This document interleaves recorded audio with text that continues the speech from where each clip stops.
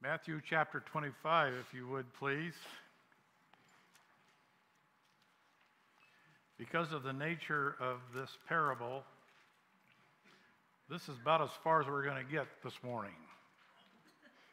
And you'll see why. And just, in fact, you already know why because you have the outline of the message in your bulletin and you have some suggested questions we might discuss afterwards.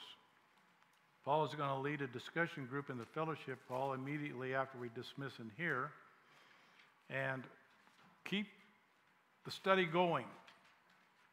Now, the little multiple choice thing in there is just to spark your thoughts, clarify your thinking, to get you thinking, what more could I study about this parable to gain insight into the whole entire Olivet Discourse.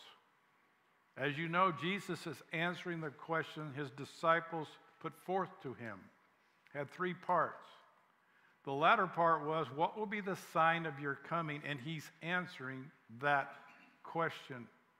And this is just one of four parables that he's using to answer that very important question. This all goes back to verses 31 and 32, which we talked about last week. That, well, I'll just read it. When the Son of Man comes in his glory and all his holy angels with him, he will sit on the throne of glory. All the nations will be gathered before him, and he will separate them from another, as a shepherd divides his sheep from the goats. This parable is like the others in the sense it's saying judgment is coming. So at the end of this chapter, Jesus clarifies what this is all about. This is just one segment of that entire message. The parable of the fig tree, which we discussed last week, reveals that the generation that sees the happening of that parable will be alive when he comes back. So you need to figure out if you're in that generation or not.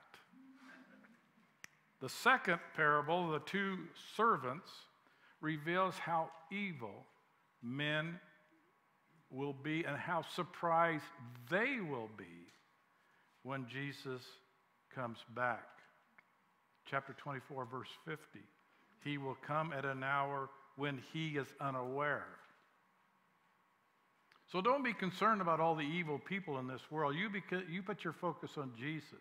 He'll deal with those when the time is right. The one we're going to talk about today, these ten maidens, is how some will not be ready when he comes back. The parable of the talents reveals how some will waste their gift. In this little church family, we talk about this one a lot. We want everybody who wants to to have a ministry that God has led them to perform. Some of you do it next door with our Sunday school.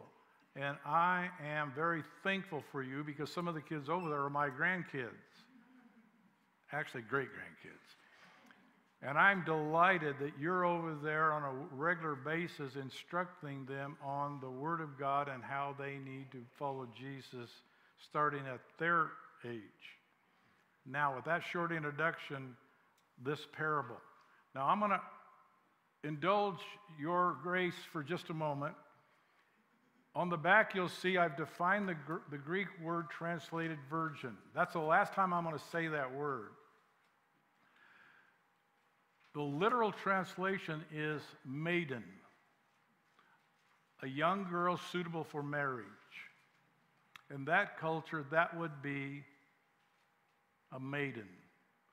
Since these 10 ladies are part of a wedding, I'm going to refer to them as bridesmaids. Now, they're not called bridesmaids in the parable. However, that's how we're going to do it. But first, we're going to read exactly what Jesus said, recorded in Matthew chapter 25. Then the kingdom of heaven shall be likened to ten virgins who took their lamps and went out to meet the bridegroom. Now, five of them were wise, and five were foolish. Those who were foolish took their lamps and took no oil with them. But the wise took oil in their vessels with their lamps. But while the bridegroom was delayed, they all slumbered and slept. And at midnight a cry was heard Behold, the bridegroom is coming, go out to meet him. Then all those virgins arose and trimmed their lamps. And the foolish said to the wise, Give us some of your oil, for our lamps are going out. But the wise answered, saying, No, lest there should not be enough for us and you, but go rather to those who sell and buy for yourselves. And while they went out to buy, the bridegroom came, and those who were ready went with, in with him to the wedding, and the door was shut. And afterwards, the other virgins also came, saying, Lord, Lord, open the, to us. But he answered and said, As surely I say to you, I do not know you. Watch therefore, for you need know neither the day nor the hour in which the Son of Man is coming. Verse 13 is the whole point of the parable.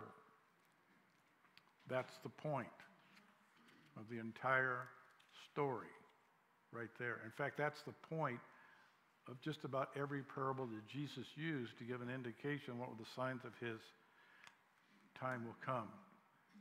In this story, some were ready and some were not. There will be a judgment day, and we don't know when he's coming back. But as we read at the end of the chapter, in the beginning, when he comes, he's going to separate those who are saved from those who are not saved, the sheep from the goats. This parable is about that day. The foolish did not prepare themselves for judgment. They did not come to the invitation to the wedding feast ready. We just found out why they weren't ready. They had no oil. So let's make a few observations. There are 10 bridesmaids five wise, five foolish. Is God suggesting that half the population, that population of the earth will be ready and half will not? No. He's just saying in this parable, many, half, were unprepared. Is this suggesting there will be a large number of people not ready for Jesus' second coming? Yes.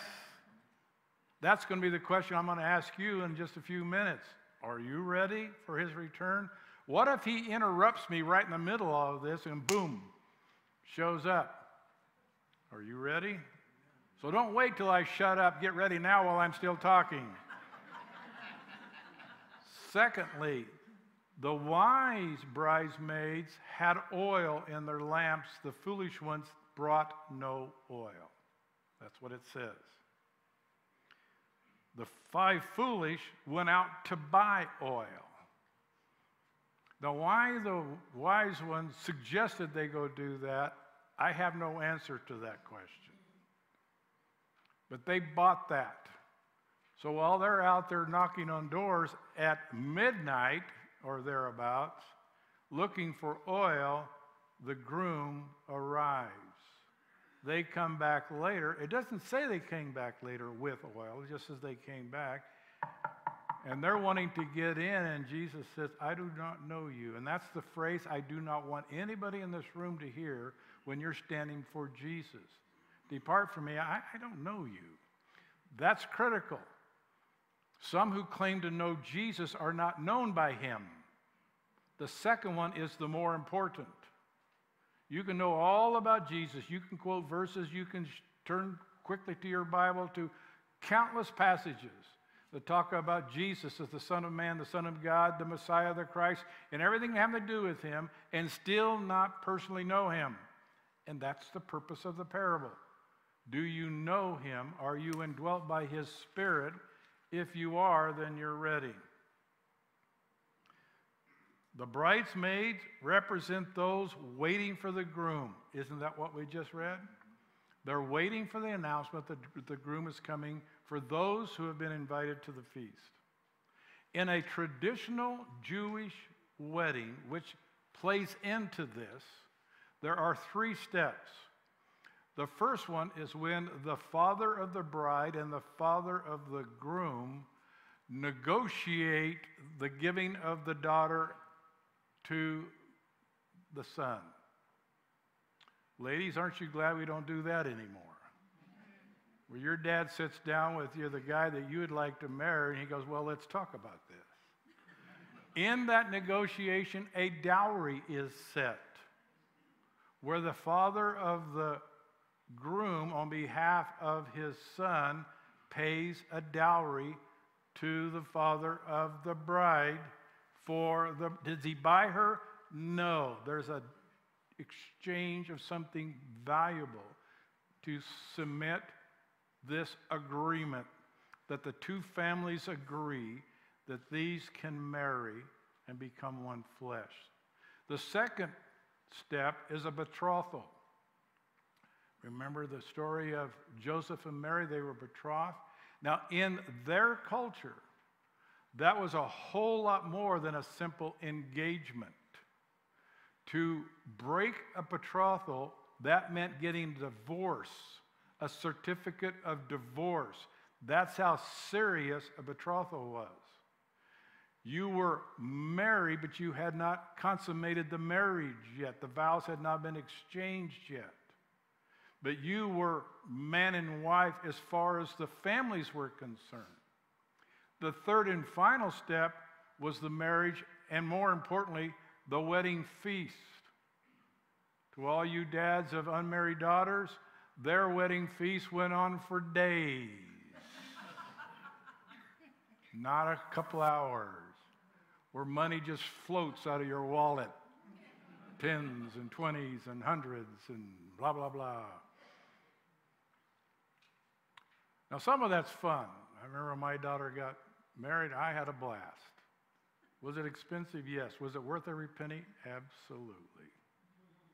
To be able to walk her down the aisle and hand her over to Steve, my son in law, was a wonderful event. As you know, Marcia and I just got to go to a wedding in Washington where one of our granddaughters got walked down the aisle by one of our sons. Did we cry? Of course we did. It's a wonderful thing. But how we do it now is not how they did it then. So these bridesmaids are waiting for the groom to come and bring them to the feast. Now, what I want you to notice when you read it again, the bride is not mentioned in the parable.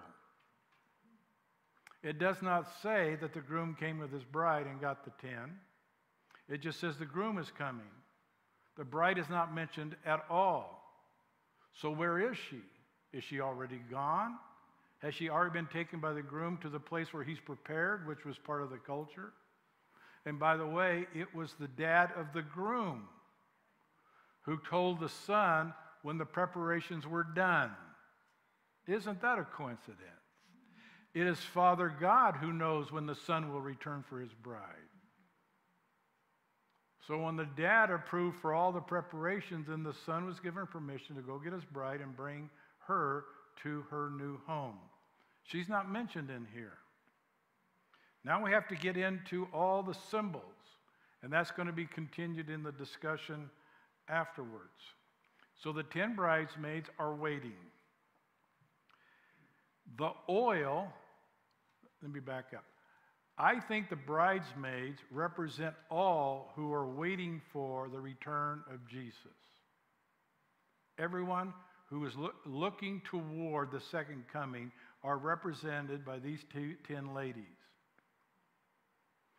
The oil can represent several things depending on how you look at it. In the Bible, oil has often been related to anointing. If you go all the way back into the Old Testament, you'll see over and over again how oil, olive oil, is used as part of the process of anointing people places, and things to make them holy, suitable for worship. The ceremony to anoint Aaron and his sons as the first high priest took seven days. After that, all the implements, the tabernacle, and all the furniture for worship was anointed by oil after sacrifices had been made to make everything holy. Why? It was the tabernacle where God would sit with his people on the mercy seat, the Ark of Testimony, the Ark of Covenant. It was a very holy place. In fact, it even had a most holy. So oil was used for that over and over again. Now, Luke records a time when Jesus mentions that. Luke chapter 4. Hold your place in chapter 25 of Matthew if you want to turn there. But Jesus is invited to read the scroll from the scriptures at his hometown synagogue in Nazareth. So he came to Nazareth, verse 16, chapter 4, Luke, where he had been brought up, and as his custom was, he went to the synagogue on the Sabbath day and stood to read. And he was handed the book of the prophet Isaiah. And when he opened the book, he found the place where it was written. Let me pause. Jesus did not choose Isaiah. It was the portion of Scripture scheduled to be read that Sabbath. He didn't flip through the scrolls and decide, I'll read chapter 61 of the book of Isaiah. For two reasons, that wasn't the custom. And the other reason is there was no chapter 61. The Bible had not been numbered yet. Let me continue. Verse 18. The Spirit of the Lord is upon me because he has anointed me to preach the gospel to the poor. He has sent me to heal the brokenhearted, to proclaim liberty to the captives, to and recovery of sight to the blind, to set at liberty those who are oppressed, to proclaim the acceptable year of the Lord. Then he closed the book, gave it back to the attendant, and sat down. All the eyes of all were on him in the synagogue, fixed on him. And he began to say, Today, this scripture is fulfilled in your hearing. Now, if you compare that to Isaiah 61, you'll see that Jesus stopped in mid sentence. This is why they were glaring at him. Why did you stop? Well, he just explained to you and them why he stopped. That scripture that he read had been fulfilled in their hearing. Notice the word anointing, healing, giving sight to the brokenhearted and the blind, to sinners. That's why he came.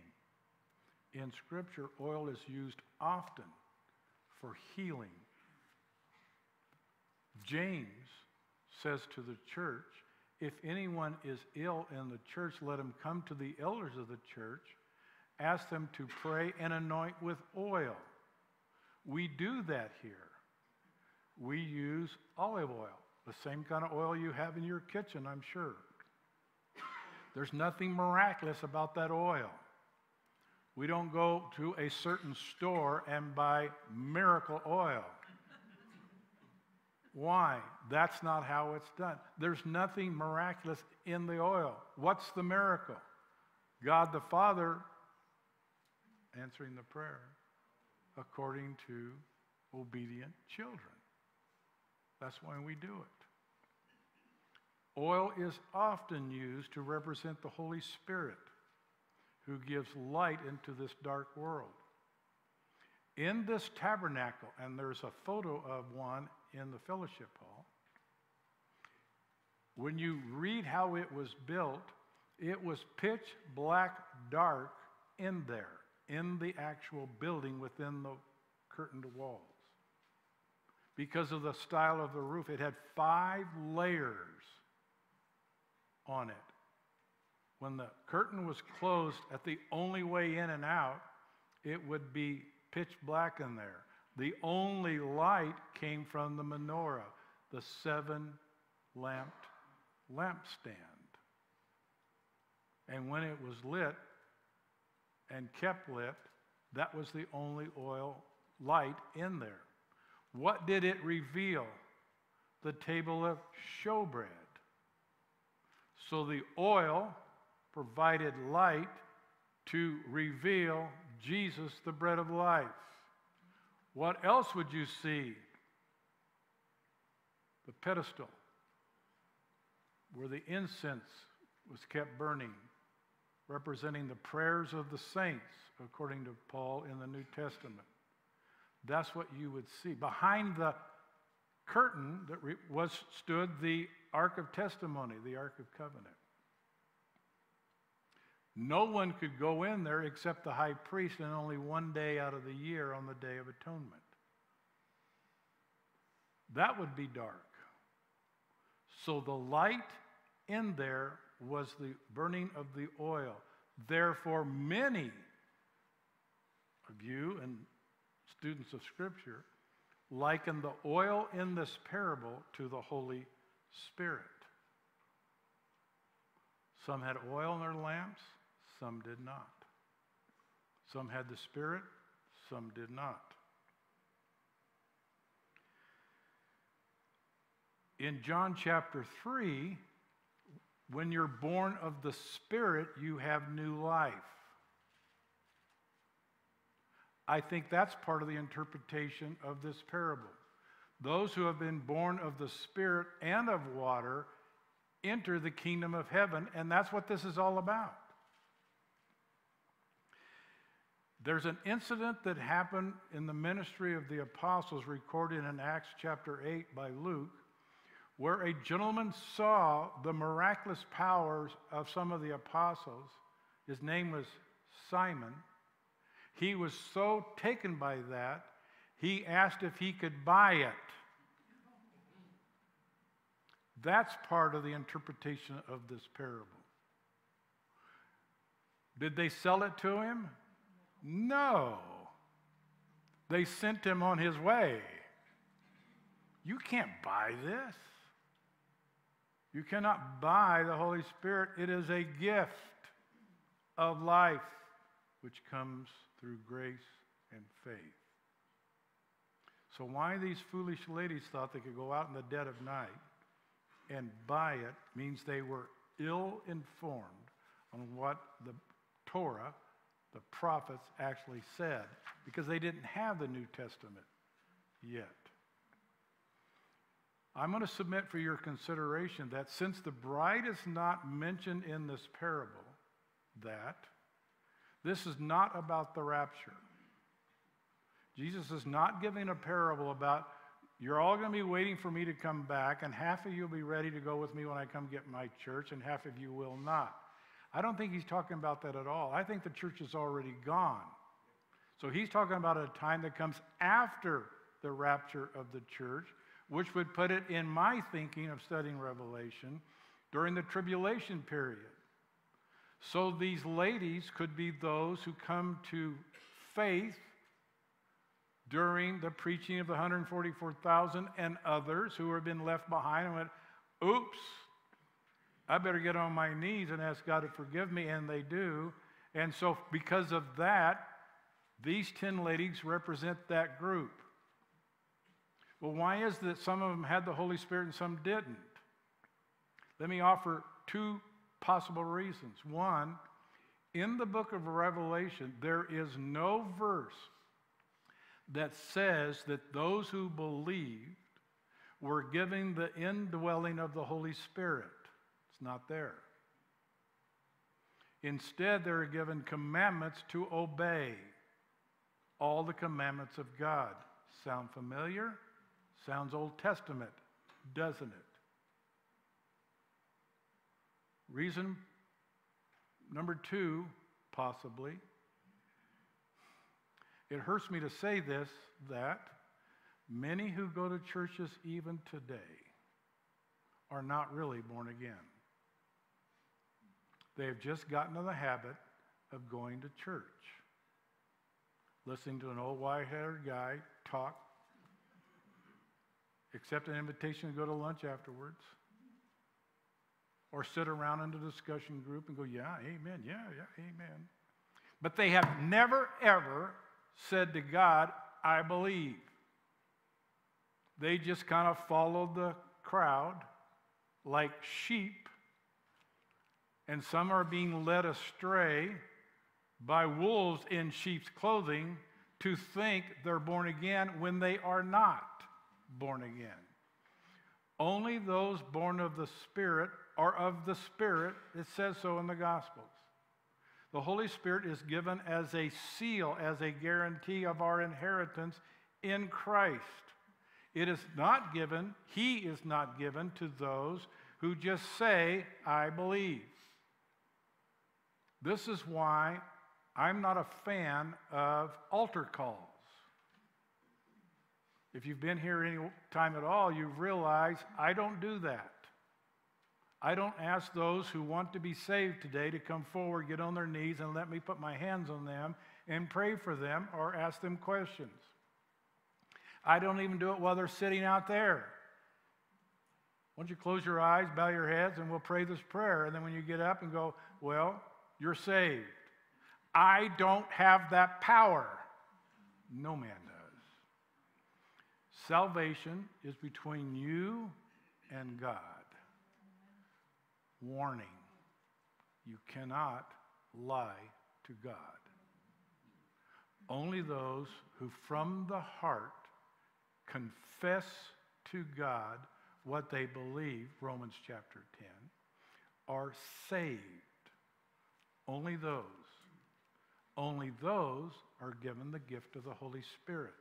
That's one of the points of the parable. I submit for your consideration that five of these young ladies had mouthed the words, possibly, got caught up in a wedding feast, maybe, and they thought they were going when they were not going. And they heard those dreadful words Go away, I don't know you. I don't want that to be you. If you're not certain, stop listening to me and start talking to God. So when you walk out of here this morning, you know that you know that you're in Him and He's in you. Otherwise, when He comes back, you're going to get left behind. And when He shuts the door, it's going to be on your face. And don't expect Him to come knocking. Behold, I stand at the door to knock. You open the door. That's not going to be the case. When judgment comes, it is too late. Therefore, I think that these five foolish bridesmaids showed up for the wedding feast with no oil at all. I think that's what it says in the Bible.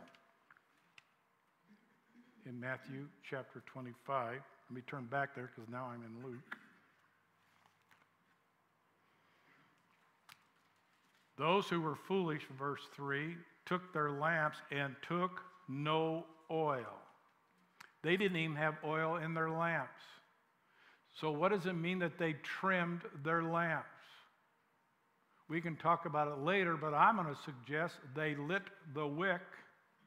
It burned until it burned out. No oil, no light.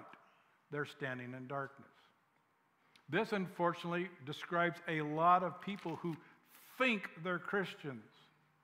They're functioning in their own power. Their light is their own, dare I say it, deception. They have fallen prey to somebody who said, sometime in their past, you say these words and you're a believer. You're a Christian. You let me baptize you, and it is a done deal.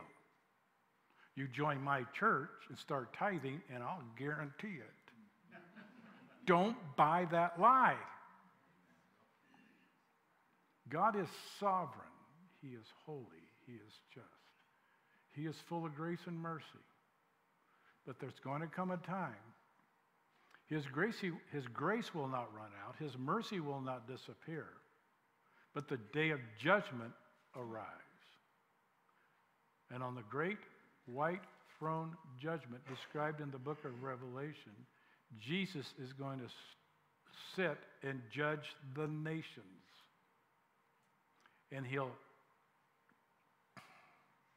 open the book of life, and those names are not in there, they go in the pit. It says so. Judgment is coming. If you know somebody and you think that they're deceiving themselves, talk to them this week. We don't know when he's coming back. Get a hold of them. Open the Bible. Show them in Scripture what they need to do. And what they need to do is have a personal, heart to heart talk with God the Father about His Son, Jesus Christ. So that the Holy Spirit, the third part of this wonderful Trinity, can be sent as a comforter, a helper, a paraclete in the Greek, to guide them. Before you go, before you make the phone call to set up the appointment, and please talk to them eye to eye. So we've lost that. We have lost that. We're so busy texting and emailing and uh, we have lost the, the, this communication where we're looking at somebody and looking in their eyes and we're seeing they get it. Here's the selfish reason I want you to do it in person. When you see somebody born again in their eyes, you have seen a miracle you will never forget. You can see it.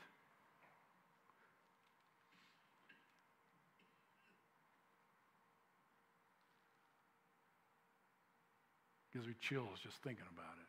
I want you to experience that. So get together with them, eyeball to eyeball, heart to heart, and show them from the Bible what the Bible actually says. And if they want to argue, let them argue with the scriptures. Well, that's not what I was told. Okay, here's what the Bible says. But that's not what this other guy said. Okay, but this is what the Bible. Don't go down that trail with them. That's a diversion. Okay, but this is what the Bible says. But I did that when I was a kid. Okay, but this is what the Bible says. But I've been a member of the church for 40 years. Okay, but this is what the Bible says. I'm an elder in my church. Okay, but this is what the Bible says. Don't let the enemy distract them and you on this other issue. Here's the other thing to watch out for. Those who are really deceived want to argue about the definition of every word. Don't buy into that. That's just how they that's how the enemy works. Did God really say? Eve said what God said, not exactly, but close enough. And the devil and the serpent said, Man, is that what he meant? You know what he really meant was if you eat this fruit, you become like him. Do you want to become like him? Well, I think I might. Well, then eat the fruit. Now, I just made that last part up. Go read what Genesis says. Never trust. Never trust. This parable reveals to the church that when that day comes, a great many will not be prepared for his coming. A great many will not have the Holy Spirit, therefore, they will be locked out of the wedding feast. The parable of the fig tree points out that there will come a day when Israel will become a nation and it's time for God to come back. And that generation, whatever the fig tree represents, will not depart planet Earth until that is fulfilled. But you don't know when that's going to be. That's the point of that parable. The parable of the talents, although it's money in the parable, when you read it, please read it as talents like we use the word more often. Those God given abilities that everybody gets at birth, that once you're converted, are now converted to be used in the work of the kingdom of God. I'll give you an example. I don't think you fully appreciate how talented a certain group of our church really are. Have you ever thought how much money they could make in the world if they had not dedicated their abilities to God? Think of the most popular singer you know. How much money could he or she make in the world compared to what they make in the church?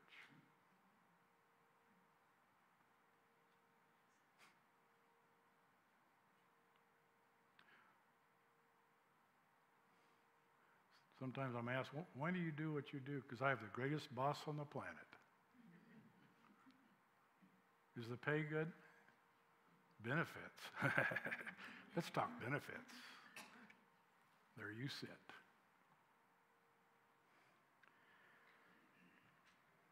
The two servants, the evil people, reveals to us that while we're here, evil will seem to prevail.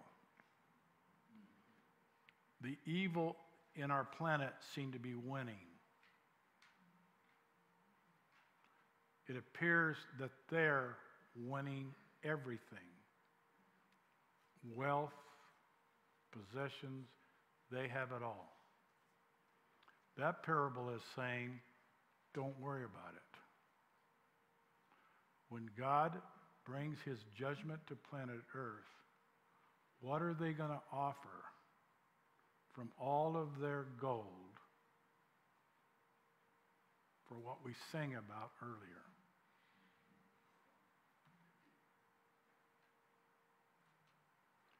You may say to that person, well, that's okay, but in my new home, streets are paved with gold.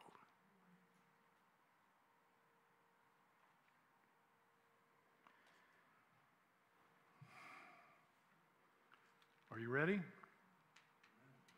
Or are you hoping you're ready? There's a difference.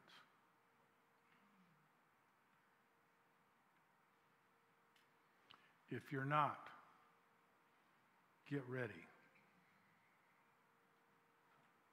On your way home today may be the day and hour that Jesus decides to take you.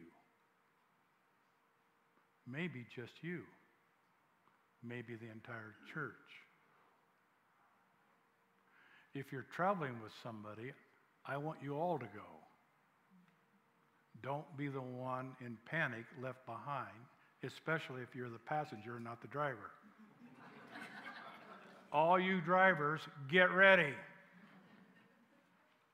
Now, Dwayne's going to come up here and sing a closing song. While some of us are singing, some of you need to be praying. Amen?